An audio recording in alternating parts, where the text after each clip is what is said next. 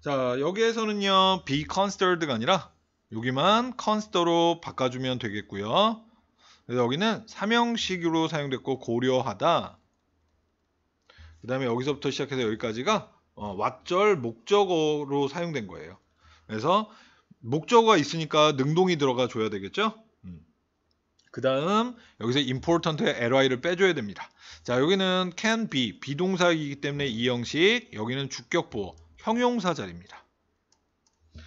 자, if you're if you are having difficulty with your immediate boss, 너의 즉각적인 보스와 어려움을 가지고 있다면, 그러니까 바로 위에 있는 상사와 어떤 문제가 생긴다면, a human resource manager or senior boss, 어, 인사과의 어떠한 매니저나 혹은 음, 그 이제 이제 더 높은 보스가 그러니까 만약에 과장하고 문제가 있어 그러면 부장이 이렇게 종종 고려할 것이다. 다른 사람들이 너에 대해서 말하는 것을 peer support can be important in saving your situation. 그래서 동료들의 지지는 너의 상황을 구하는 것에서 중요할 수 있다. 그래서 만약에 바로 위에 있는 상사랑 과장이랑 문제가 생겼어요.